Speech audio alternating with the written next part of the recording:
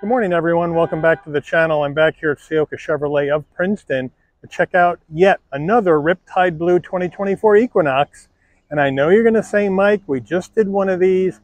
And I'm going to say, look, I try to bring you as many different trim levels as I can for each model of car we review. And I can't control when these things are delivered to the dealer. So we got two Equinoxes in a row for Chevrolet. And this one is the RS package. Now, the RS package on the 24 Equinox, just like in 2023, is an appearance package only. So we're going to check this out, see what it's bringing to the market here in this compact two-row SUV segment. So let's dig in. All right, the front end on this Equinox RS, again, the Riptide Blue with the gloss black on the grille, blacked out Chevy bow tie in the middle.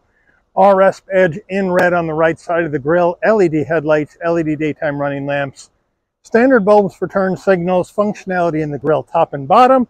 However, it would have been nice instead of having these fake vents here, maybe punch these out, make them a side air curtain. But overall, I like the RS appearance package on the Equinox. Makes it look pretty sharp.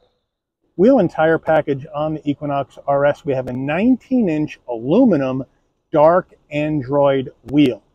Looks like the color is gunmetal gray, but Chevy calls it dark Android with the blacked out Chevy bow tie on the center cap. Standard brake and rotor package. Now these 19 inch wheels, they're aluminum alloy, are wrapped in Hankook Kinergy GT all season tires, 235 on the width, a 50 series sidewall 19s, all four corners, front wheel drive, but you can also get the Equinox in the RS trim in all-wheel drive. Full side profile on this Equinox RS. Now the RS package is going to give you the blacked out look, right? So gone are the silver wheels. We got these dark Android wheels. The Equinox badge blacked out on the door. We are color matched on the door handles. We uh, have painted around the wheel wells rather than the flat black plastic.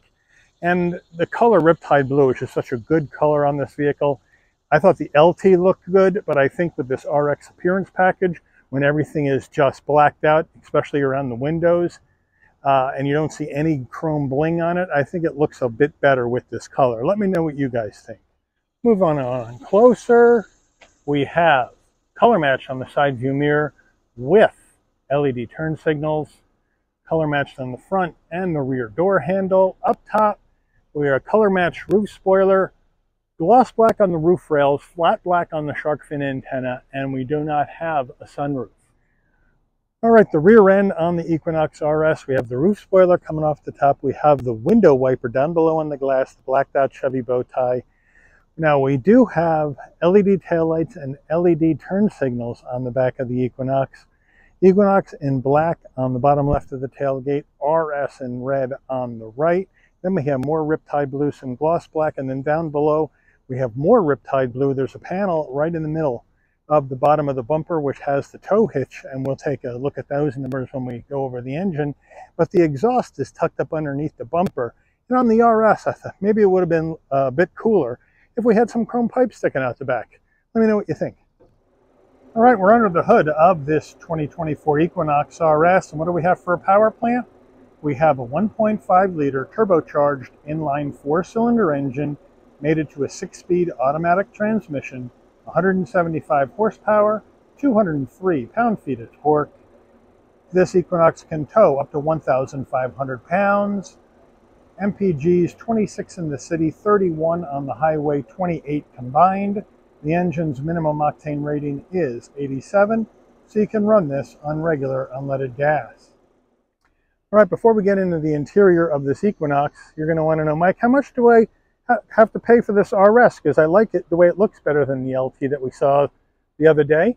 Well, MSRP for this Equinox RS front-wheel drive, before options, 30950 And what do you get in the RS package that uh, is included? Well, you get the a compact spare tire, the accented RS interior, the unique RS grille, black bow ties and badging, black roof rails, and window surrounds, the 19-inch aluminum dark Android wheels, StabiliTrak stability control system with traction control. Now, this vehicle has some options, so it has an additional $1,200 for the safety and infotainment package, heated steering wheel, USB data ports, power outlet, 8-inch infotainment screen, wireless CarPlay Android Auto.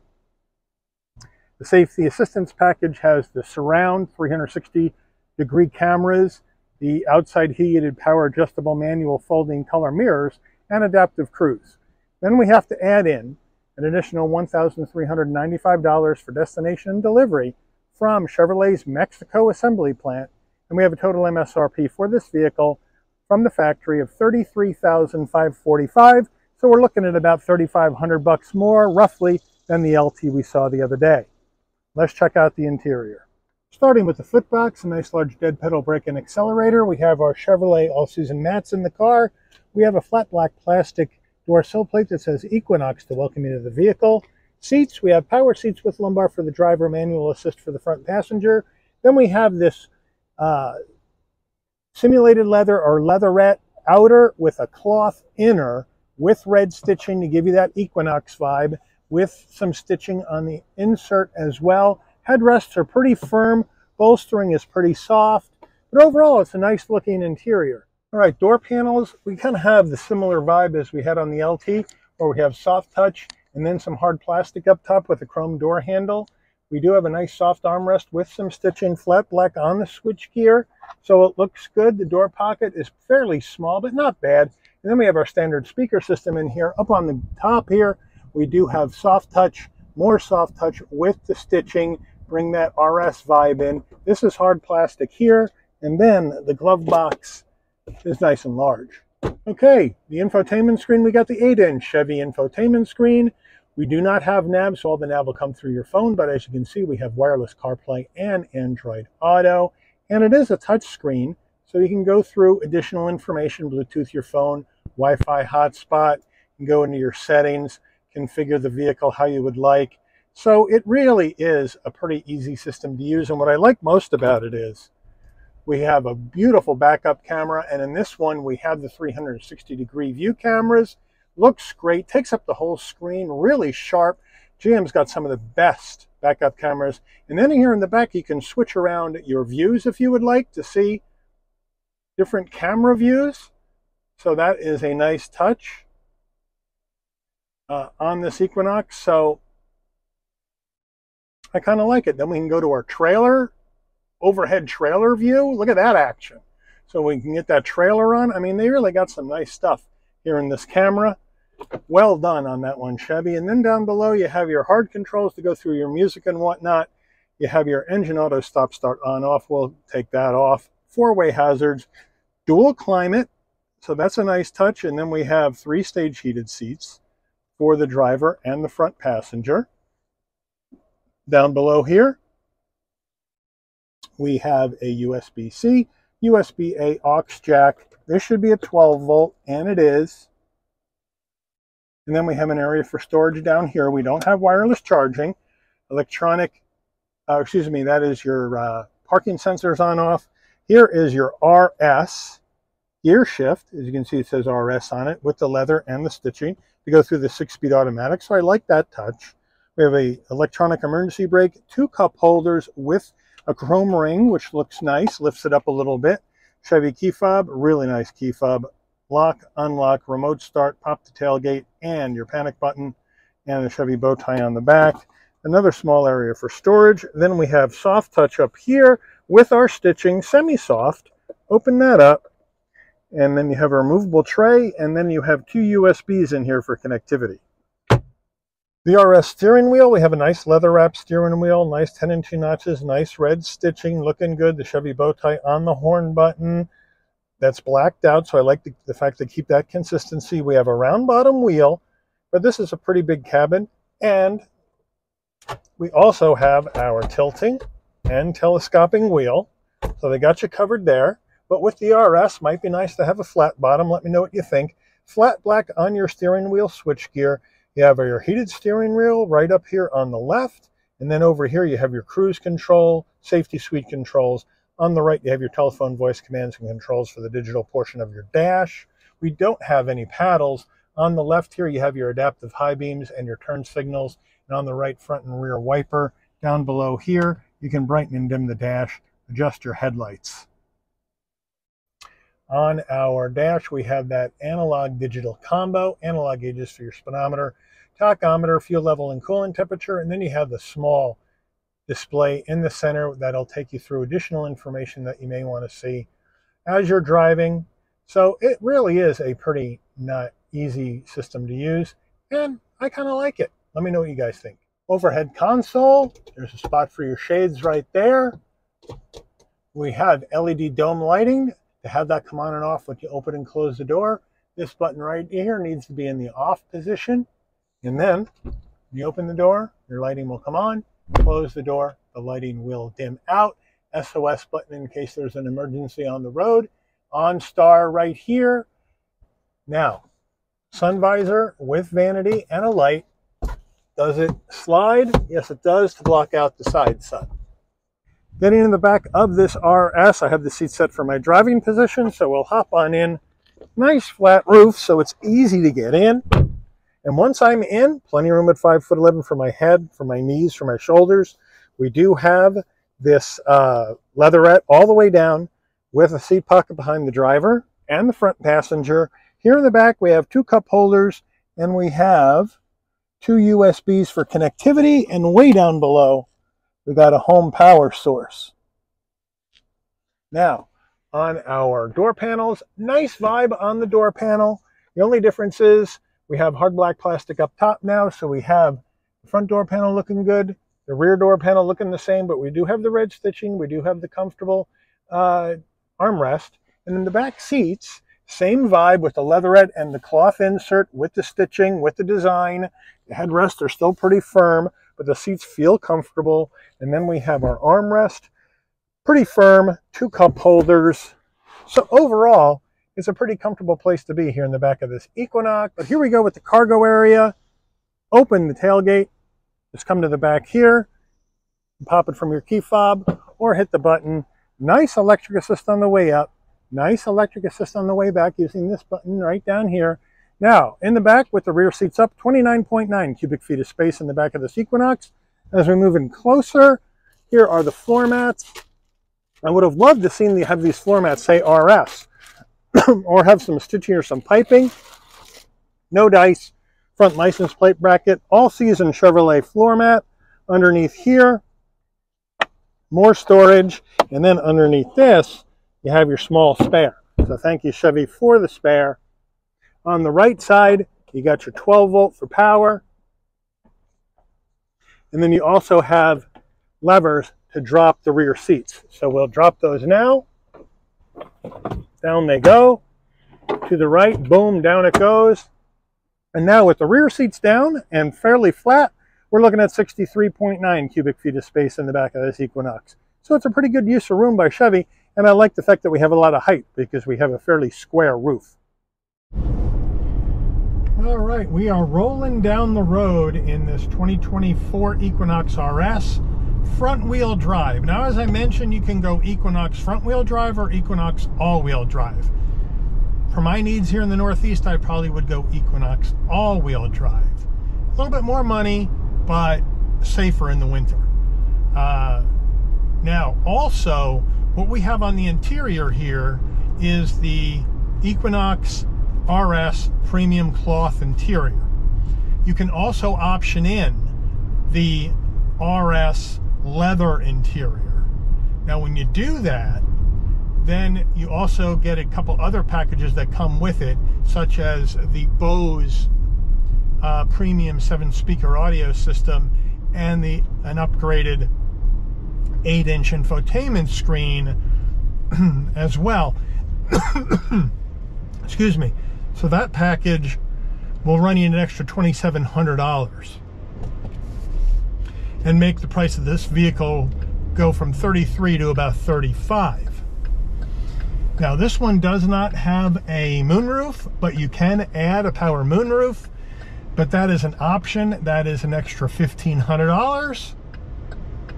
So once you spec up this RS to you know, with the leather seats and the Bose system and the nicer infotainment screen and some other safety tech that comes with it, and then the roof, now you're looking at 37 grand. And at that point, you probably it's probably worth just moving up to the Equinox Premier uh, because that comes with more of those features standard and probably keep the price down that way. But I did want to let you know that they are all available in the RS. This one just does not have it, most likely to keep the price down to an attractive level for dealer stock. Let me know how you would rock that way. Would you go with something that we've seen already, or would you put in the, the RS leather, or maybe the moonroof, or uh, you know, and be willing to pay 35 to maybe up towards the 37 grand for an Equinox RS? Let me know about that in the comments. But I got great visibility out the windshield, side glass, side view mirrors, rear view mirror, no problem at all. I got blind spot monitoring, cross traffic alert, lane keep assist, all that jazz is in the Equinox RS, so no problem there. And of course, the RS Equinox comes with the same power plant as the LT that we saw the last time we were in an Equinox, the 2024 Riptide Blue LT. Equinox only has one engine, and that's the 1.5 liter turbo 4 with a six speed automatic. That's it. Now, what I liked, what Chevy did with the Blazer RS, was they put in the larger V6 and gave it not only the sporty appearance, but they gave it more power which I really, really liked. And that's what I wish Chevy would have done with the Equinox RS. I, I would have loved to seen them take their two liter turbo and stick it in the Equinox RS, or at least make it an option to choose that in the Equinox RS. If you wanted to stay with the base engine, you could. If you wanted a little bit more power with your Appearance RS trim, you could have choose the, could have chosen the two liter turbocharged engine would have given you a good amount more horsepower and torque would have made this ride a little bit more sporty and given you something more than just the appearance package on the RS. That's what I wish Chevy would have done. Let me know what you guys think about that idea. But unfortunately, that 2 liter turbo is no longer available in Equinox. 2023 wasn't there, and here in 2024, it's not available. But it is well damped on the suspension. It's a bit soft, but not bad. Takes the bumps well. The steering, nice and light. Not vague at all. It's fairly sharp, but it's nice and light. You're not getting much feedback, but this is a people hauler. This is an SUV. But I do like the way this RS trim plays off of the Riptide Blue better than how the LT trim looked on the, with the Riptide Blue color, even though I love this color. I think that's one of my new favorite Chevy colors. But let me know what you guys think about that, that as well. But this pretty much rides the exact same as the LT. There is no change in any of that for the RS.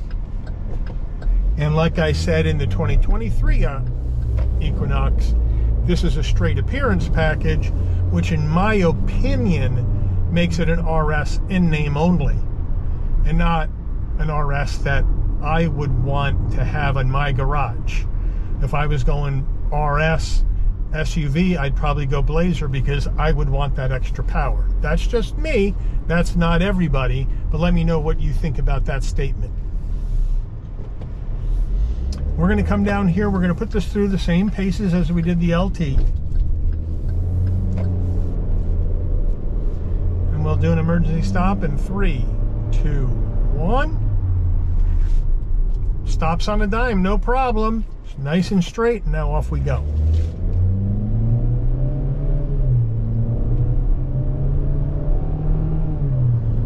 Got that loud engine humming away, but it gets up to speed. Once you take your foot off the pedal and the engine is no longer under load, it quiets down. I do like the response of the six-speed automatic.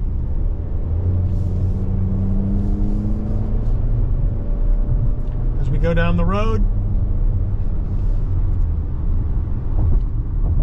You get some good tech in here. You get your USB-A, USB-C connectivity. You get wireless uh, CarPlay Android Auto. You get great 360 degree view camera action. So that's good. You get connectivity in the back with power in the back. You can drop the, the seats from the tailgate area. I mean, they give you some, you got the power lift gate. They give you some really nice features in the RS. Now you got a lot of those features in the LT, which makes the LT even a greater value than this RS in my opinion. Turning radius, here we go. It's wide, very, very wide. I mean, really wide. I gotta have to do a K-turn. So, need some space to turn this baby around. And now we're gonna take off from a rolling start and down the road we go once again. No problem at all. Piece of cake, easy peasy, one, two, three. So let me know what you think about this RS. I made some bold statements about what I think about the RS trim in the Equinox, which is about what I said last time around for the 2023 Equinox. Let me know what you think. Should we be offering that 2 liter turbo in the RS Equinox for 24? Give us some more power. Give us a reason to buy the RS trim and pay the extra money uh, over the LT. Let me know what you think about that in the comments. Let me know what you think about this overall. Or would you go Equinox? Would you go a different trim? Or would you go to a different brand altogether with your hard-earned SUV money? Let me know in the comments. But I want to thank Ciocca Chevrolet of Princeton for allowing the channel access to this 2024 Chevy Equinox RS with front-wheel drive only. For review today, I'd like to thank all of you for watching. You enjoyed this video? Please consider giving it a like. Please also consider subscribing and turning on that notification bell so you'll never miss another Chabby's Rides video. And I'll see all of you on the rebound. Take care, everyone.